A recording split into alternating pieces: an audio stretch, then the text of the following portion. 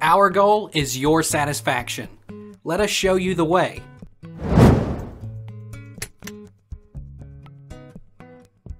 Is Split King worth it?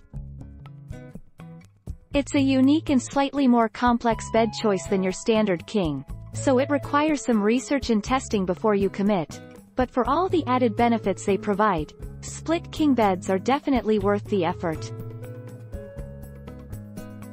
Can you put two twin mattresses on a king frame? If you are looking to make a split king, two twin XLs should fit your frame perfectly.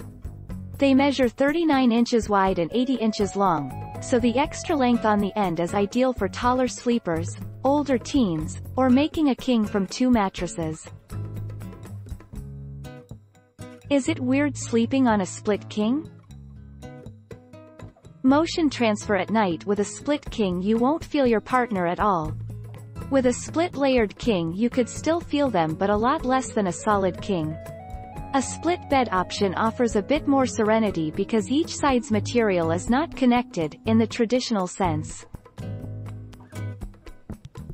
Do split king beds separate? Well, as said before, the split king features two separate, but also, to an extent, joined mattresses because of the connectors.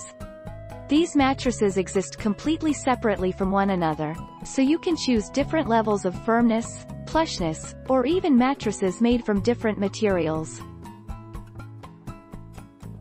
How do you make a split king feel like a bed? How to keep sheets on an adjustable split king mattress. Put your twin XL sheets on each mattress. Optional. Add sheet straps on each corner.